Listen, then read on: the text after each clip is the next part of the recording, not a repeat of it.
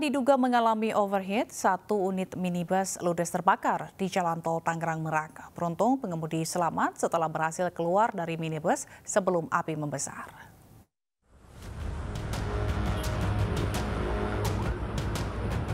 Api dengan cepat membakar sebuah minibus di kilometer 34 Tol Tangerang Merak, kawasan Cikupa, Kabupaten Tangerang, Banten pada Sabtu siang. Persikan api yang menyambar tangki bahan bakar membuat api semakin membesar hingga meludeskan badan minibus dan barang-barang berharga milik pengemudi. Satu unit mobil damkar dikerahkan ke lokasi kejadian guna memadamkan api. Api berhasil dipadamkan setengah jam kemudian.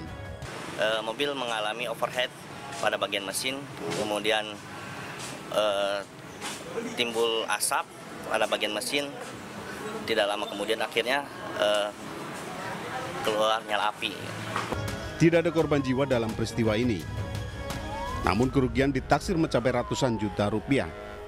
Kini kasus kebakaran ditangani Satuan Patroli Jalan Raya Ciujung.